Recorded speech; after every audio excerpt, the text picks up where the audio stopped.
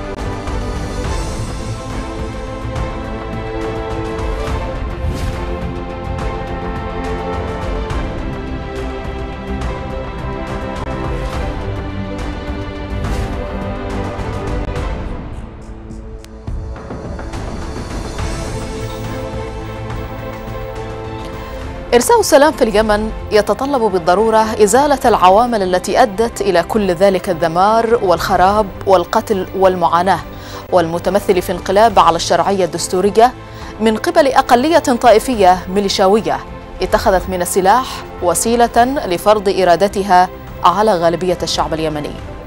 إزالة آثار الانقلاب والانسحاب من المدن وتسليم السلاح وتنفيذ ما تبقى من الاستحقاقات الوطنية المؤكد عليها في مرجعيات السلام المتمثلة في المبادرة الخليجية ومخرجات الحوار الوطني والقرارات الأممية ذات الصلة.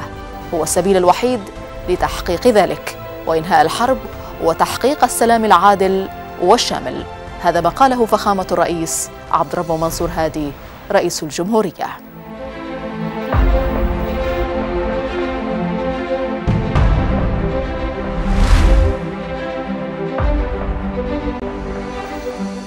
جدد الرئيس هادي تأكيده برفع العلم اليمني فوق جبال مران بمحافظة صعدة التي تعد معقل الحوثيين.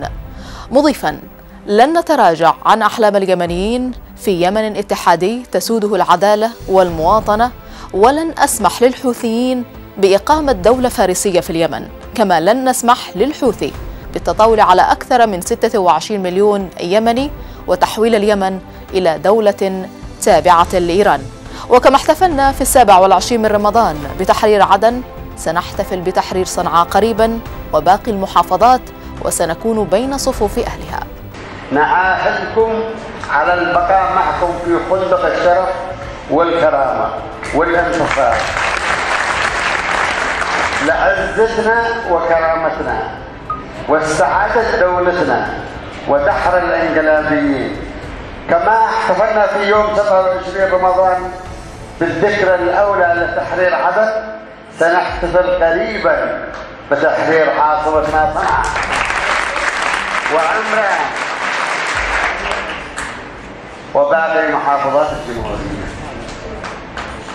ثقوا من هنا من مارب التضحية. أننا لن نخون دم الشهداء ولن ترخص إمامنا أمهات الثكالى والأطفال اليتامى وأننا نالس الجرحى والمعاقين توالت الانتصارات بقيادة فخامة الرئيس عبد الرب منصور هادي بعد تحرير عدن موجها الجيش الوطني لتحرير بقية المناطق الأخرى التي ما زالت تحت سيطرة الميليشيات.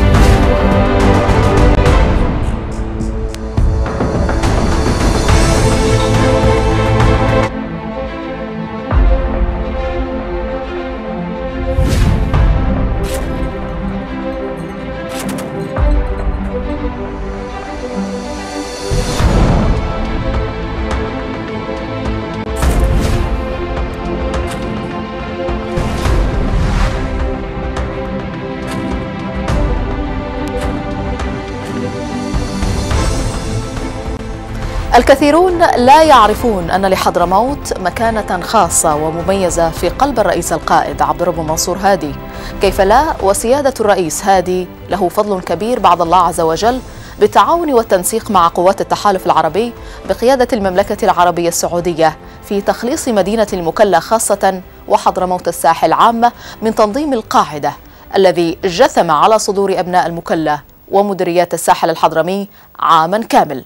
ومنذ توليه منصبه في العام 2012 للميلاد زار الرئيس عبد الرب منصور هادي محافظة حضرموت لرد الاعتبار لهذه المحافظة وتعويضها عن عقدين من التهميش مرت بها المحافظة من التهميش والإهمال تجاه هذه المحافظة وأهلها.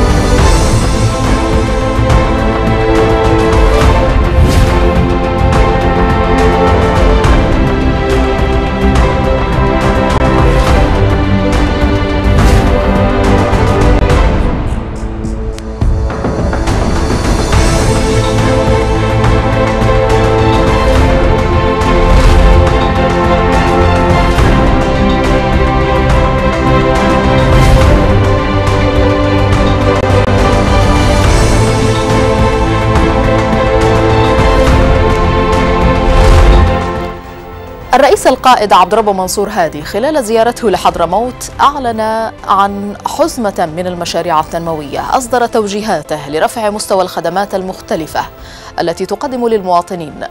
وجاءت هذه التوجيهات بعد أن اعتمد الرئيس عبد الرب منصور هادي إنشاء كلية للشرطة في حضرموت فضلا عن الإعلان عن تأسيس جامعة وادي حضرموت والصحراء ووضع حجر الأساس لمحطة كهروغازية بقدرة 50 ميجاوات والتي تم تجهيزها وافتتاحها مؤخرا. كما وجه شركة المسيلة لاستكشاف وإنتاج البترول بترو مسيلة لإنشاء وحدة لإنتاج الغاز المنزلي. وفي الجانب الأمني وخلال زيارة الرئيس عبد الرب منصور هادي لحضرموت اعتمد تجنيد آلاف الجنود لرفض الجهاز الأمني وتفعيل القوى الأمنية بمختلف مسمياتها كما وجه بإعادة فتح مصلحة الهجرة والجوازات بمدينة المكلا وغير ذلك من المشاريع الطموحة. إليكم أيها الأعزاء الحاضرون جميعا ومن خلالكم. إلى كافة أبناء حضرموت الأعزاء أرض الأحقاف ومنبع الحضارات حضرموت الخير والعلم والوسطية والحضارة والتسامح والتجارة والأخلاق الفاضلة الذين بصدقكم ووفائكم نشرتوا الإسلام في المعمورة وبجهودكم وبنيتكم الكبيرة من هذه البلدان من حضرموت التي تعرضت للظلم والتهميش. وأقول لكم لقد حان الوقت لإنصاف حضرموت.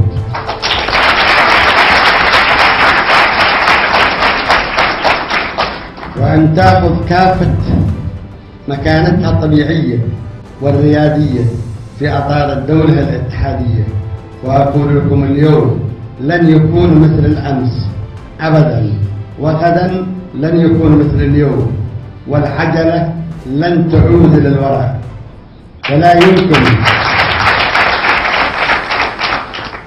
ولا يمكن العودة للمركزية القاتلة والمستبدة الظالمة.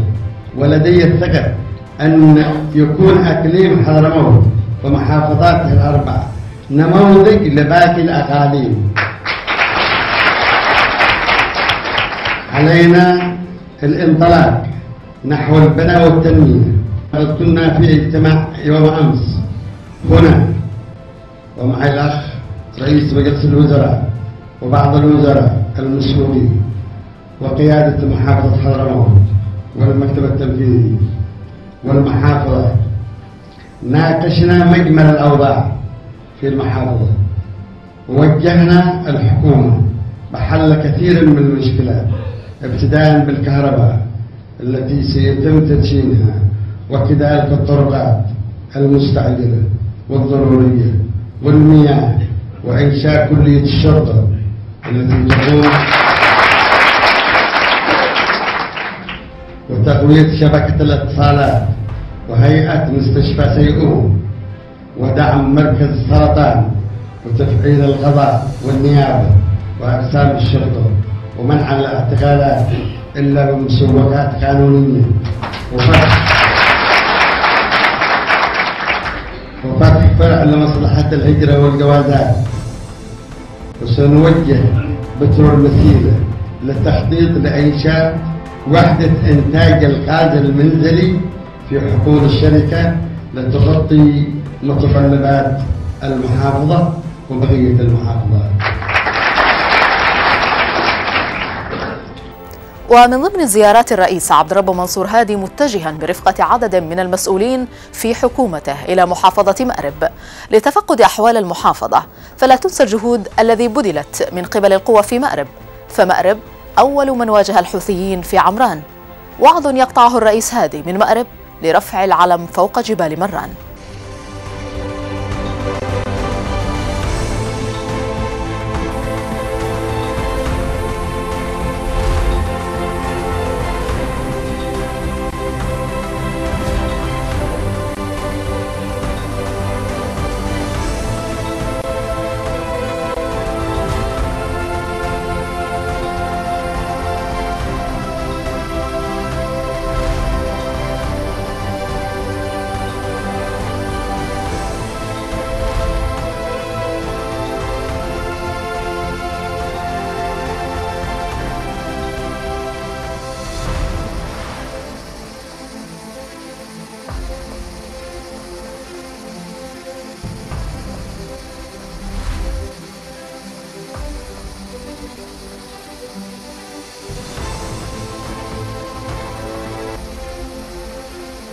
you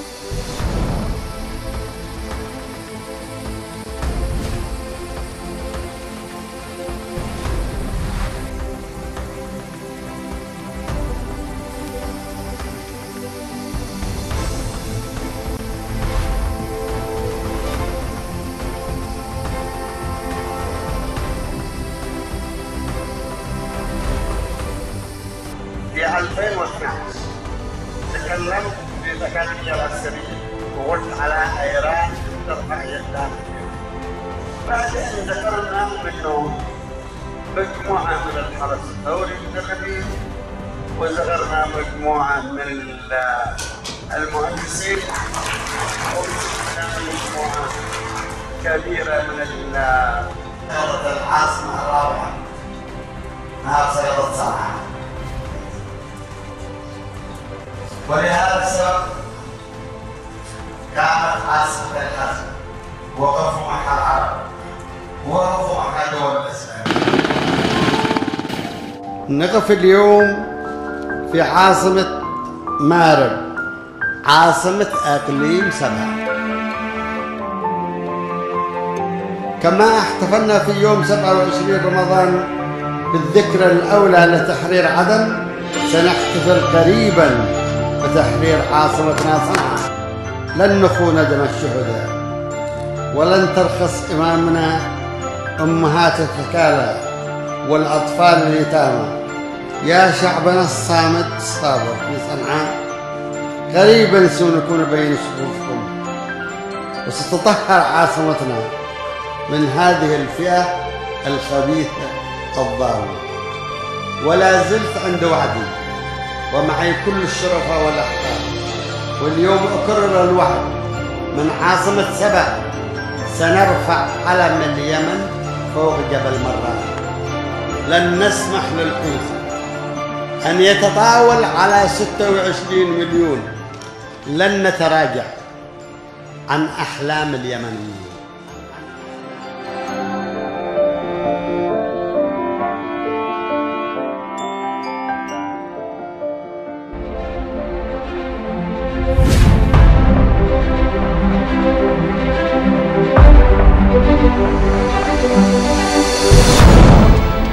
عمل الرئيس عبد ربه منصور هادي على ترميم البيت الداخلي للشرعية. من خلال اتخاذ قرارات مبنية على التوازن في التيار المؤيد للشرعية. وقد كانت أبرز مظاهر حالة التوازن الجديدة التي رغب بها الرئيس عبد ربه منصور هادي في إخراجها للضوء بعد فترة تأني طويلة وهي إقالة نائبه ورئيس الوزراء السابق خالد بحاح.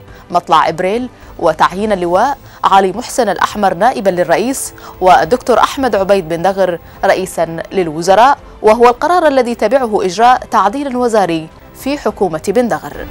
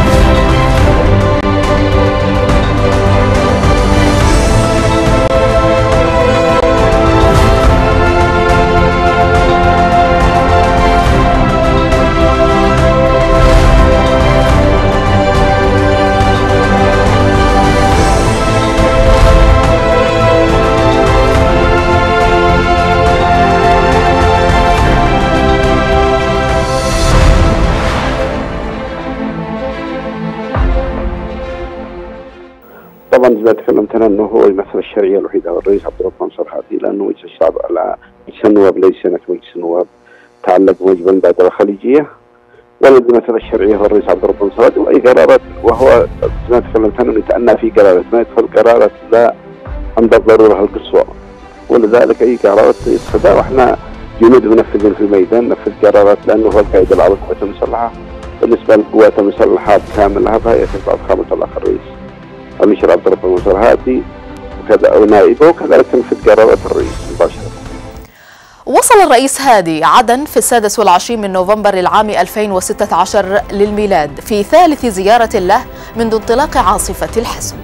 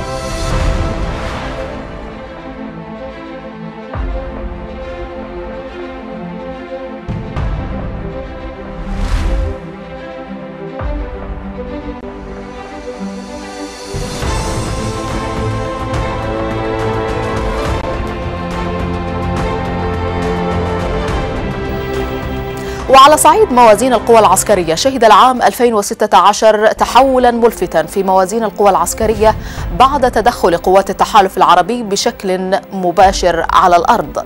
ليتمكن الجيش الوطني والمقاومة الشعبية بدعم من طيران التحالف من إحكام القبضة على مناطق واسعة من منطقتينهم التي توصف بالبوابة الشرقية للعاصمة صنعاء.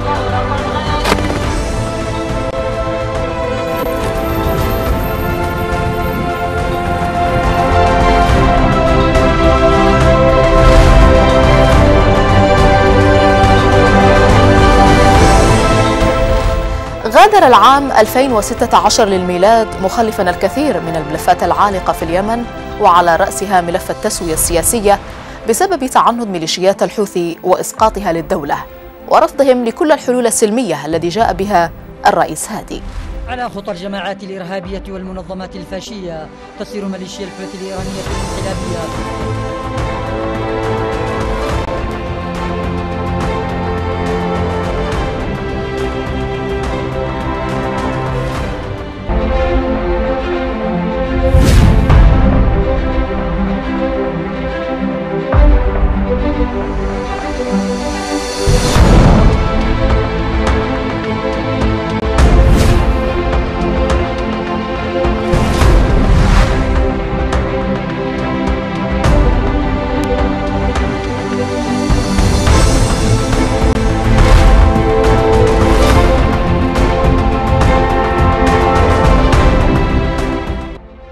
هو رجل قيادي لديه من القيادة العسكرية من خلال فترته والخبرة الطويلة التي خاضها في داخل الدولة وفي داخل وزارة الدفاع وأيضا الخبرة التي قضاها في خلال فترة الوحدة من معرفة اطياف المجتمع وأيضا الخصوصية المجتمعية ومن خلال يعني تواصله مع كل قيادات الدولة في خلال مرحلة.